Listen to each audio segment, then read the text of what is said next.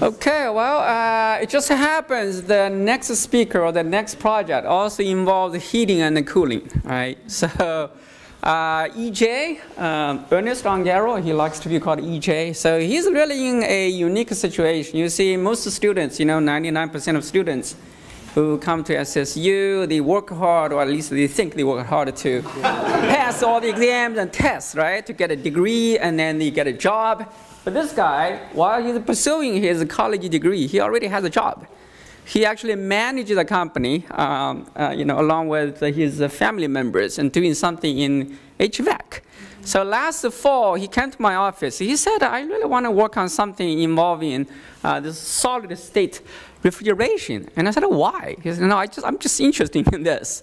So I said, how much do you really know? Well, I know little, but I can, you know, really work on this. You know, give me like, you know, a month or two, I can come up with a plan to really, you know, do whatever uh, I have to do to get the project going. And then I made a big assumption, you know, because this guy does H, uh, Mac. So he should have a lot of, you know, hands-on uh, experiences, right? Let him just do this thing. As it turns out, yeah, he's such a hard worker. And uh, now after like you know, nine months, when I look back, I really feel like, you know, he already has a job, right? so, but he still works so hard in the lab. He comes to my office almost like every week, just you know, tell me what works, what doesn't. Uh, and now when I look back, I really feel like my, my assumption was so correct because he really owns this project. All right, so let's give a warm welcome to uh, EJ.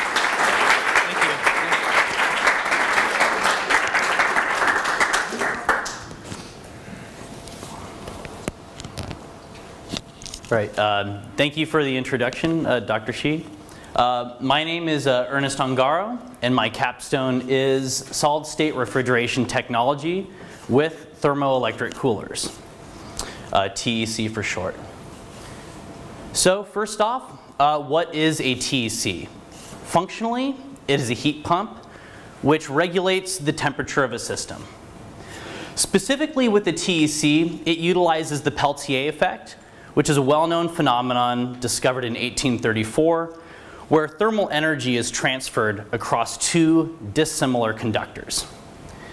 Being a solid state technology, those two dissimilar conductors are in the form of a semiconductor PN junction. This is a diagram of such a uh, PN junction in a TEC module. And uh, as an electric current flows through the module, the uh, thermal energy is transferred from the cold side to the hot side.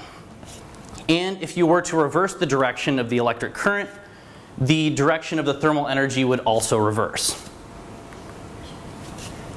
So, why do we care? Uh, first off, they're small. That is a picture of an actual commercially available uh, TEC in my hand.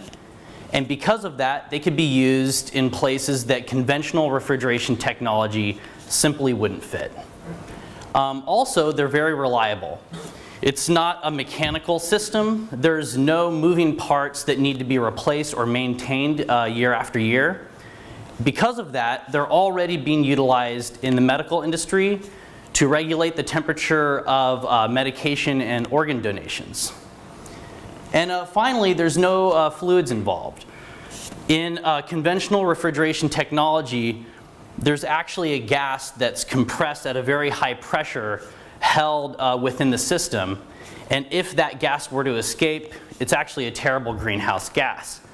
There's uh, no such uh, fluids involved in the solid state technology. So being a heat pump, one of the most important properties to consider is the cooling capacity. And this is simply how much thermal energy is either uh, being put into or taken out of the system by the TEC. Specifically with my experiment, that system that the TEC is working on is a test mass, a piece of metal with a known specific heat capacity. What this means is we know exactly how much uh, energy it takes to uh, change one gram of that material one degree. So we uh, measure the temperature of that material as the TC is working on it. And with uh, that information, we could then calculate the uh, cooling capacity. Another very important uh, property to, uh, to consider is the coefficient of performance. And this is basically what is the benefit that the TC is giving us, which is the thermal energy that's being taken out of the system, divided by the work that it took to do that. In this case, it's an electrical device, so as we're tracking the temperature decreasing in the material, we're also tracking the current and the voltage that the TC is using. And with those properties, we could then calculate the work which gives us the COP, the thermal energy divided by uh, the work that it took to move it.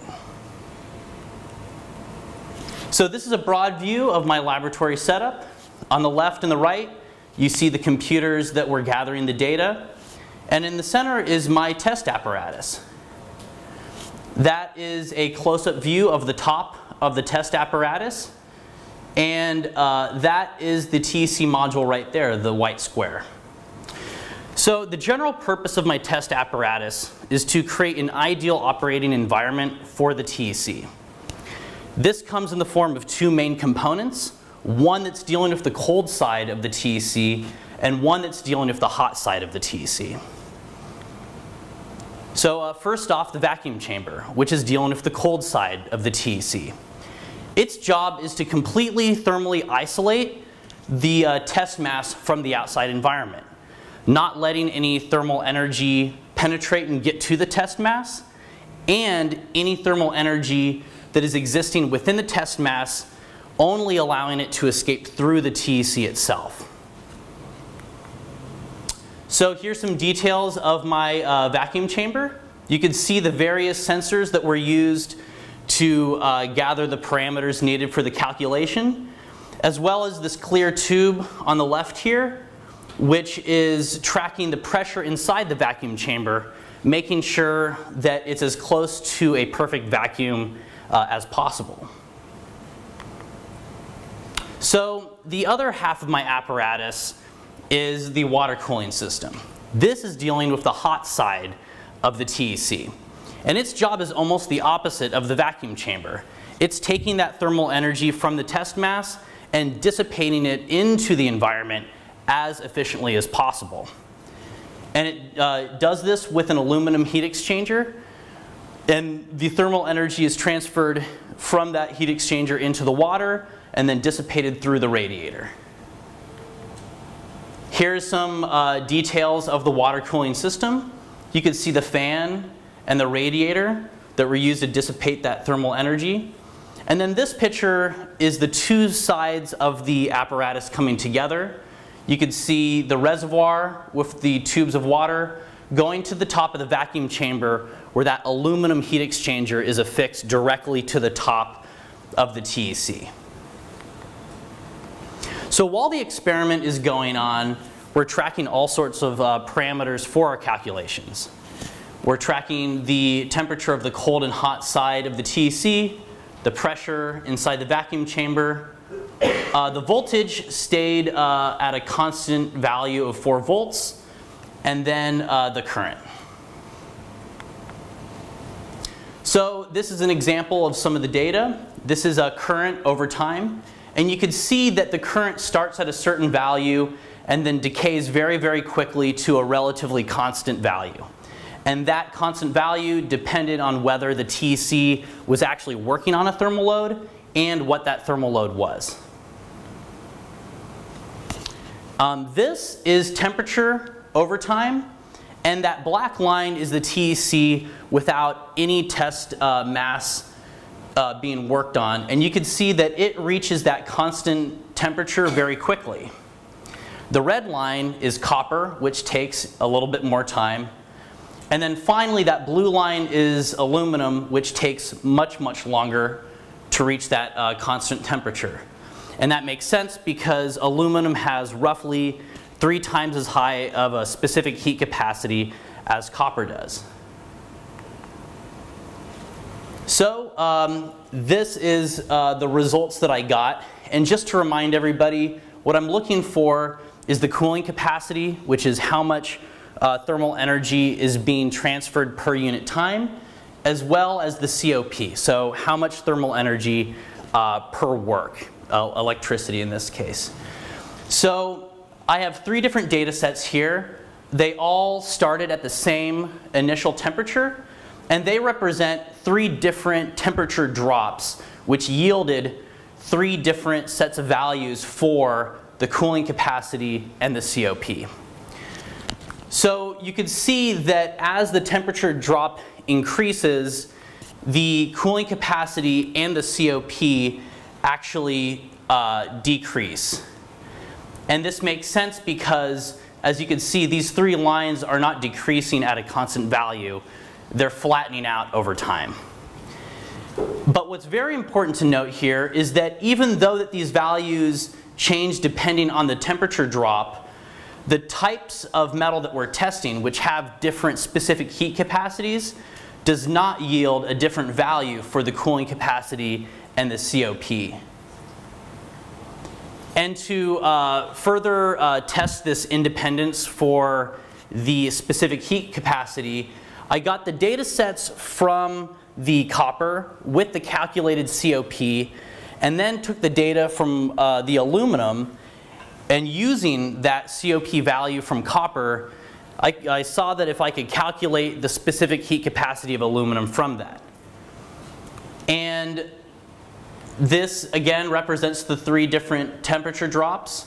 And as you can see, the three values that I ended up getting are very close to each other. And not only are they very close to each other, but it's only a 2 to 6% difference from the actual known specific heat capacity of aluminum, which is a 0.9. And that actually was a far better number than, than I anticipated. So that was, uh, was fantastic. So um, future work, this, this type of uh, test apparatus could be perfected um, with further work to, uh, to get an even more accurate uh, calculation of the specific heat capacity and might even have the ability to identify certain materials by calculating that specific heat capacity. Um, in addition to that, you could then test an alloy such as bronze, which is made up of copper and tin, and then find out what the specific heat capacity is, and then you might even be able to figure out the exact makeup of the, the tin and the copper, what percentages uh, that make up the alloy. And then uh, lastly, I think that this experiment could uh, be adopted by an intermediate level physics lab because it's relatively um, inex uh, inexpensive to put together the way in which you conduct the experiment is also pretty straightforward. Yet with that simplicity, it yields some very interesting numbers and teaches a lot about not only uh, thermal dynamics, but uh, solid state uh, refrigeration technology, of course. And uh, that's it. Thank you very much.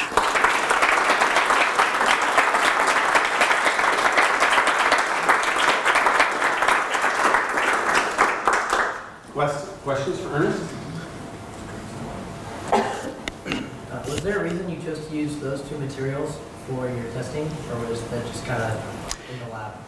Well, uh, for one, I wanted obviously something that wasn't an alloy, so I knew what its specific heat capacity was. And actually, because of the, the industry that I work in, copper is very easy for me to source just from uh, metal that would have been recycled anyways. And then as far as the aluminum, I wanted to find something that had a pretty different specific heat capacity in order to see a difference. And since it has three times as high as copper, that made it a really good choice. Uh, so do you, you just used a mechanical pump in this, correct? Mm-hmm. Um, yeah. Was that sufficient, or if, if you had more resource sources, would you improve the vacuum? And how would you think that would change? You know, the vacuum was actually, I mean, it took a lot of work to, to get it there, but the pump itself actually pumped it down really, I mean, to the point where uh, that one slide didn't actually represent it, but it went low enough where it couldn't even, uh, the data acquisition software couldn't even detect wow. a value. So definitely, yeah. I mean, I what I, I actually used a, com, a, commercial quality HVAC pump uh, the, with the highest volume capacity that I could buy, actually. So Yeah. Okay, all right. Well, no arguments there. all right, let's thank EJ.